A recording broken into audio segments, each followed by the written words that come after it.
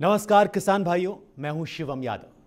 आप सभी का स्वागत है लाइव टुडे के इस खास कार्यक्रम मेरा देश, मेरा गाँव में, जहाँ पर हम आपके लिए लेकर आते हैं खेती, किसानी, पशुपालन और तकनीक से जुड़ी हुई महत्वपूर्ण बातें, ताकि किसान अपनी फ़सलों और पशुओं को बखूबी ख्याल रख सके और उनसे बेहतर लाभ कमा सके।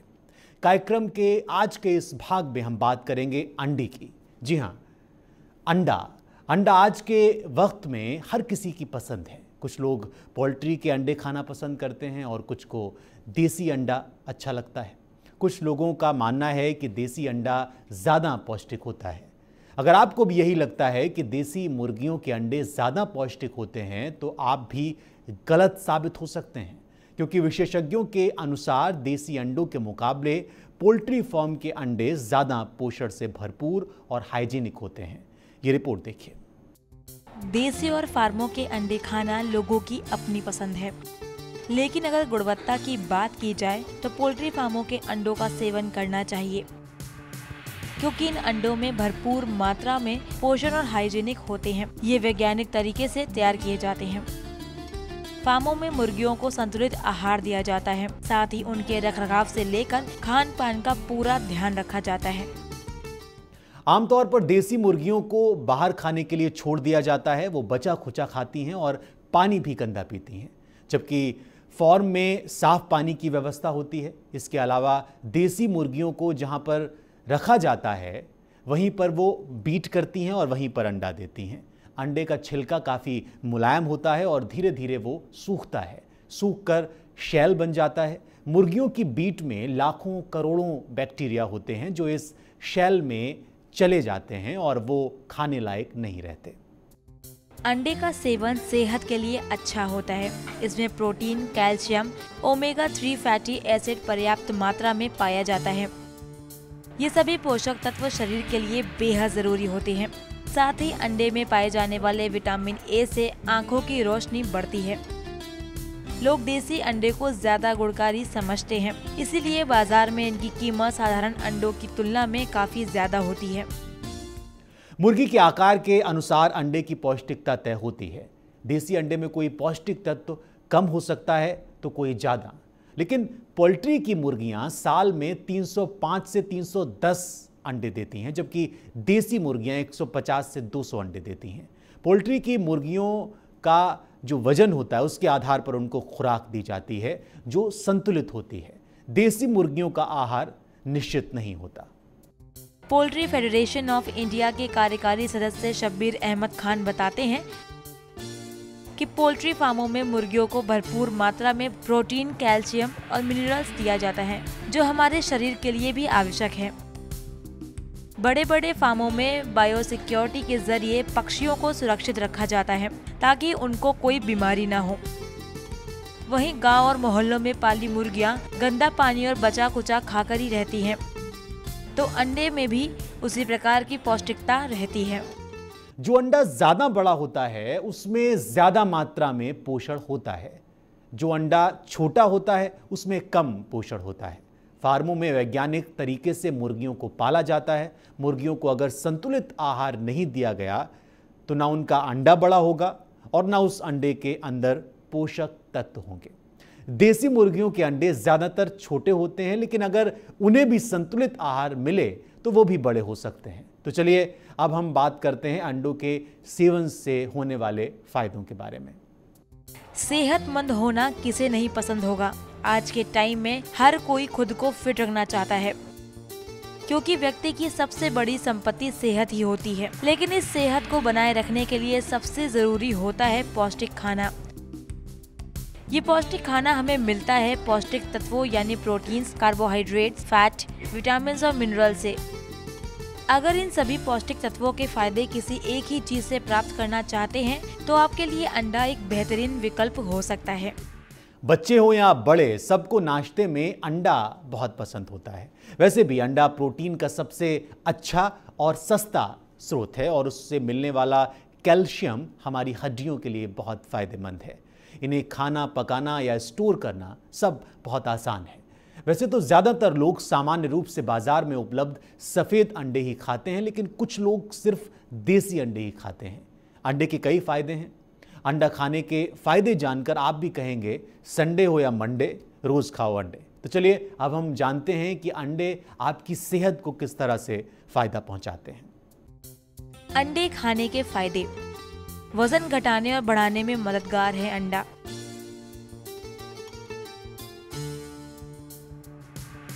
अंडा आपकी आँखों की रोशनी बढ़ाता है।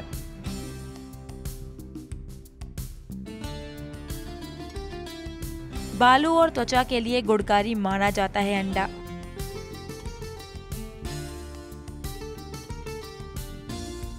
अंडा खाने से आपके शरीर को भरपूर एनर्जी मिलती है।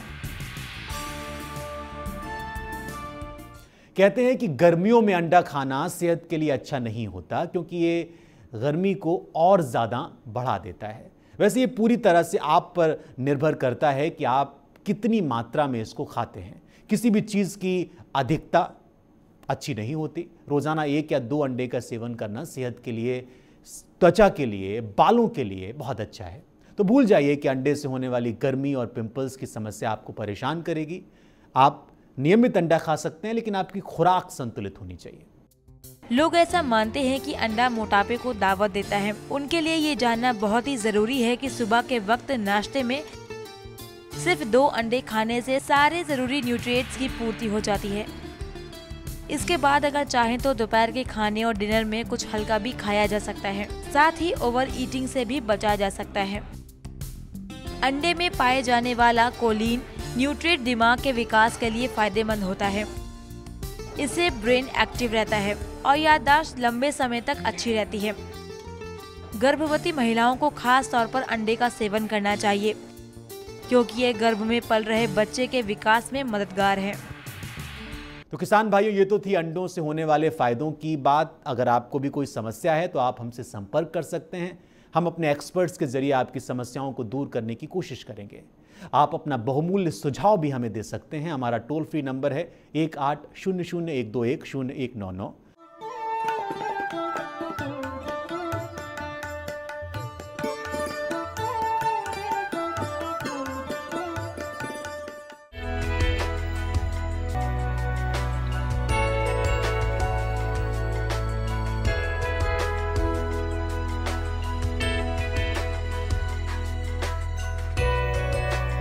तो चलिए कार्यक्रम के इस भाग में हम बात करने जा रहे हैं गाय और भैंसों की।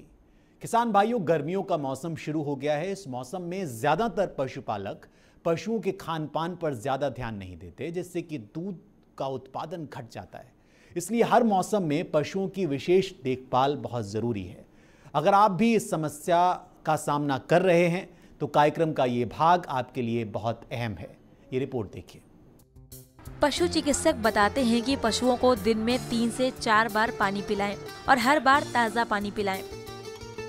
सुबह और शाम नहलाना ज़रूरी है गर्मियों में पशुओं का दूध घट जाता है, इसलिए इनके खान पान का विशेष ध्यान दें। खाने के रूप में इन्हें हरा चारा और मिनरल मिक्सचर दें। इससे पशु का दूध उत्पादन नहीं घटेगा इस मौसम में पशुओं को गला घोट बीमारी का टीका लगवा लें ये टीका नजदीकी पशु चिकित्सालय में दो रुपए के मामूली शुल्क पर लगता है। गर्मी के मौसम में हवा के गर्म थपेड़े और बढ़े हुए तापमान से पशुओं में लू लगने का खतरा बढ़ जाता है। ज़्यादा समय तक धूप में रहने पर पशुओं को सनस्ट्रोक जैसी बीमारी हो सकती है, इसलिए उन्हें किसी हवादार या छायादार जगह पर बांधें। इस मौसम में पशुओं के नवजात बच्चों की भी देखभाल ज़रूर करें। अगर पशुपालक उनका ढंग से ख्याल नहीं रखता है तो उसको आगे काफ़ी परेशानी का सामना करना पड़ेगा। तो चलिए, अब हम आपको बताते हैं कि आप गर्मियों में कैसे अपने पशुओं और पशुओं के नवजात बच्चों का ख्याल रख सकते हैं। इन बातों का रखे ध्यान। धूप और लू से नवजात पशुओं को बचाने के लिए पशु आवास के सामने खस या जूट के बोरे का पर्दा लगा देना चाहिए। नवजात बच्चे के जन्म के तुरंत बाद उसकी नाक और मुँह से सारा म्यूकस बाहर निकाल देना चाहिए।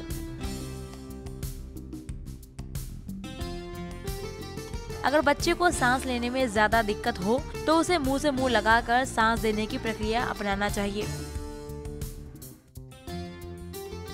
नवजात बछड़े का नाभि उपचार करने के लिए उसकी नाभि नाल को शरीर से आधा इंच छोड़कर साफ़ धागे से कसकर बाँध देना चाहिए।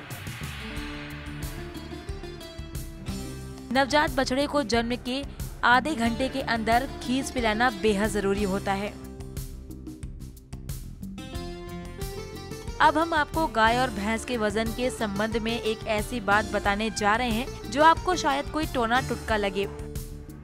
मगर ये कोई टोना टोटका नहीं, बल्कि बाकायदा वैज्ञानिक सत्य है कि अगर दूध देने वाली गाय भैंसों के चारे में लहसुन मिला दिया जाए तो वो कम मात्रा में मिथेन गैस वातावरण में छोड़ेंगे और इससे वो दूध भी ज़्यादा देंगी, जिससे दूध उत्पादन भी बढ़ेगा। लंदन से प्रकाशित समाचार पत्र डेली टाइम्स में हाल ही में प्रकाशित एक रिपोर्ट में कहा गया है कि दूध देने वाली गाय भैंसों को लहसुन या जई यानी ओट खिलाने से ग्लोबल वार्मिंग को कम करने में मदद मिल सकती है। प्रयोगशाला में किए गए सफल परीक्षणों के बाद अब प्रयोग के तौर पर सीमित संख्या में किसानों को अपने इस दुधारू पशुओं के आहार में खासतौर पर लहसुन और जई मिलाकर देने की सलाह दी जा रही है। जब वातावरण का तापमान 42 से 48 डिग्री सेल्सियस तक पहुँच जाता है और गर्म लू के थपेड़े चलने लगते हैं तो पशु दबाव की स्थिति में आ जाते हैं। इस दबाव की स्थिति का पशुओं की पाचन प्रणाली और दूध उत्पादन क्षमता पर उल्टा प्रभाव पड़ता है। इस मौसम में नवजात पशुओं की देखभाल में अपनाई गई थोड़ी सी भी असावधानी, उनकी भविष्य की शारीरिक वृद्धि, स्वास्थ्य, रोग प्रतिरोधी क्षमता और उत्पादन क्षमता पर स्थायी कुप्रभाव डाल सकती है। गर्मी में पशुओं में चारा खाने की मात्रा में 10 से 30 प्रतिशत और दूध उत्पादन क्षमता में 10 प्रतिशत तक की कमी आ सकती है। गर्मी के मौसम में दुग्ध उत्पादन और पशु की शारीरिक क्षमता बनाए रखने की दृष्टि से पशु आहार का भी महत्वपूर्ण योगदान है। तो चलिए, अब हम आपको बताते हैं कि कैसे आप गर्मियों में पशुओं के आहार में कुछ मामूली बदलाव कर अच्छा दूध उत्पादन कर सकते हैं। गर्मी में पशुपालन और पशु आहार। गर्मी में पशुपालन करते समय पशुओं को हरे चारे की अधिक मात्रा उपलब्ध कराना चाहिए। गर्मी के दिनों में पशुओं के चारे में एमिनो पावर और ग्रोबीप्लेक्स मिलाकर देना लाभदायक रहता है। गर्मियों में पशुओं को हरा चारा देने पर पशुओं में पानी की कमी नहीं होती है। इस मौसम में पशुओं को भूख कम लगती है और प्यास अधिक, इसलिए पशुओं को पर्याप्त मात्रा में दिन में कम से कम तीन से चार बार पानी पिलाना चाहिए। जिससे शरीर के तापक्रम को नियंत्रित करने में मदद मिलती है। इसके अलावा पशु को पानी में थोड़ी मात्रा में नमक और आटा मिलाकर पानी पिलाना चाहिए। गर्मियों में कई बार पशु लू की चपेट में आ जाते हैं। तो चलिए अब हम जान लेते हैं कि पशुओं में लू के लक्षण को हम किस प्रकार पहचान सकते हैं। और साथ साथ हम आपको लू से बचाने के उपचार के बारे में भी जानकारी देंगे। गर्मी में पशुपालन और पशु आहार। डेयरी को इस प्रकार बनाए कि सभी जानवर के लिए उचित स्थान हो, ताकि हवा को आने जाने के लिए जगह मिले। पशु को प्रतिदिन एक से दो बार ठंडे पानी से नहलाना चाहिए। पशु के लिए पानी की उचित व्यवस्था होनी चाहिए।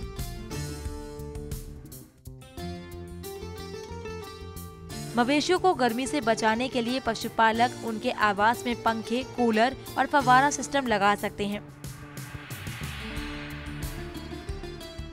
दिन के समय में उन्हें अंदर बाँध कर रखें।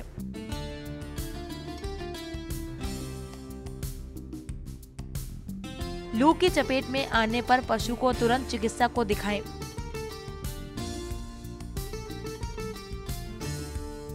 पशुओं को इलेक्ट्रॉल एनर्जी देनी चाहिए। किसान भाइयों, ये तो थी गर्मियों में पशु सुरक्षा से जुड़ी हुई जानकारी। अगर आपको भी कोई समस्या है तो आप हमसे संपर्क कर सकते हैं। हम एक्सपर्ट्स के ज़रिए आपकी समस्याओं को दूर करने की कोशिश करेंगे। साथ ही आप अपना बहुमूल्य सुझाव भी हमें भेज सकते हैं। हमारा टोल फ्री नंबर है एक आठ शून्य शून्य एक दो एक शून्य एक नौ नौ।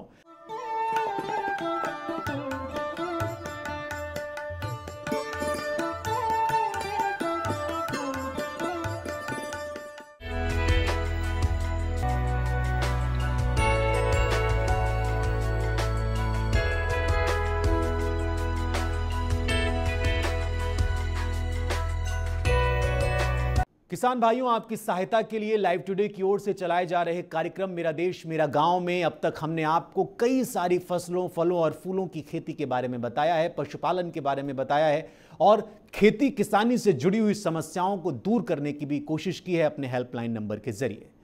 ये हेल्पलाइन नंबर बिल्कुल निशुल्क है, जिस पर हमें किसानों की ओर से सराहना तो मिली ही है। साथ ही उन्होंने खेती में आने वाली समस्याओं के निदान के लिए भी हमसे संपर्क किया है और कई किसान भाइयों के सवालों का हमने अपने एक्सपर्ट्स के ज़रिए समाधान भी किया है। कुछ ऐसे ही सवाल आज हम आपके सामने रखने जा रहे हैं। ये वो सवाल हैं जिसे किसान भाइयों ने हमसे पूछा है और उसका जवाब जानने की कोशिश की है। मध्य प्रदेश के रहने वाले किसान भाई अरविंद ने हमारे टोल फ्री नंबर पर हमसे संपर्क किया और अपनी समस्या रखी। उनका सवाल है। आपका सवाल गन्ने की फ़सल में खाद प्रबंधन के बारे में जानकारी चाहिए हमारा जवाब, अरविंद जी गन्ने की बुआई से पहले प्रति एकड़ super phosphate 150 kilo, muriate of potash 50 kilo की मात्रा देनी चाहिए यूरिया 25 किलो और रीजेंट 10 किलो को लेकर खेत में डालें।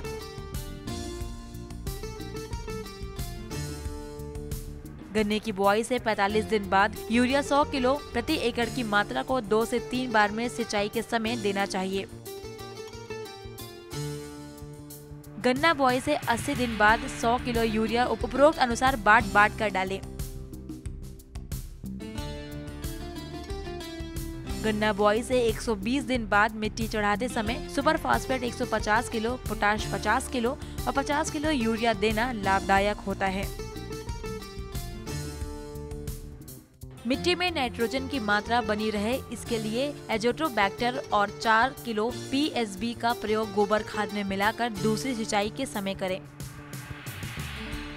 अरविंद जी हम उम्मीद करते हैं कि आपको आपके सवाल का जवाब मिल गया होगा। अब आइए बात करते हैं आज के दूसरे सवाल की। उत्तर प्रदेश के रहने वाले किसान भाई हुसैन अली ने हमारे टोल फ्री नंबर पर हमसे संपर्क किया। उन्होंने हमसे जानना चाहा। आपका सवाल इसब गोल की खेती के बारे में जानकारी चाहिए। हमारा जवाब। हुसैन जी, इसके लिए सर्द और शुष्क जलवायु उपयुक्त रहती है।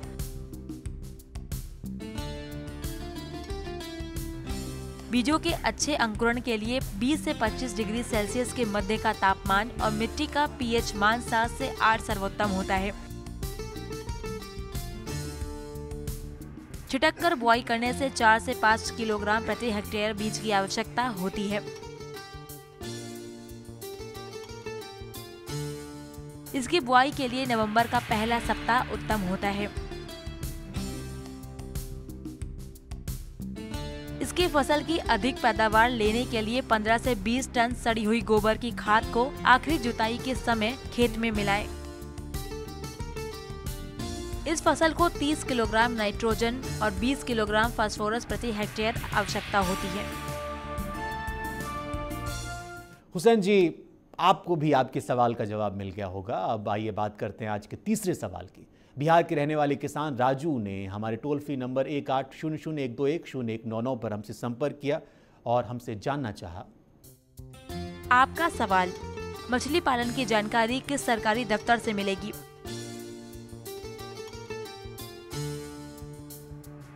हमारा जवाब राजू जी, मछली पालन के लिए आप अपने जनपद में स्थित सहायक निदेशक, मुख्य कार्यकारी अधिकारी से संपर्क कर सकते हैं।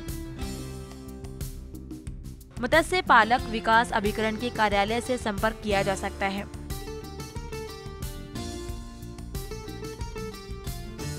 मंडल के मंडलीय उप निदेशक मत्स्य कार्यालय से भी संपर्क कर जानकारी प्राप्त की जा सकती है। राजू जी, यकीनन आपको भी आपके सवाल का जवाब मिल गया होगा। तो किसान भाइयों, ये तो थी आज की वो समस्याएँ और उनके समाधान जो आपने हमसे पूछे हैं। हम आशा करते हैं कि आप हमारे और हमारे एक्सपर्ट्स के द्वारा दिए गए समाधान से संतुष्ट होंगे और आगे भी खेती किसानी से जुड़ी हुई तमाम समस्याओं के लिए हमारे टोल फ्री नंबर एक आठ शून्य शून्य एक दो एक शून्य एक नौ नौ पर संपर्क करते रहेंगे और अपने बहुमूल्य सुझाव हमें देते रहेंगे। आज के इस कार्यक्रम में किसान भाइयों, फ़िलहाल के लिए बस इतना ही। खेती किसानी से जुड़ी कुछ और जानकारियों के साथ हम आपसे दोबारा रूबरू होंगे। तब तक के लिए नमस्कार।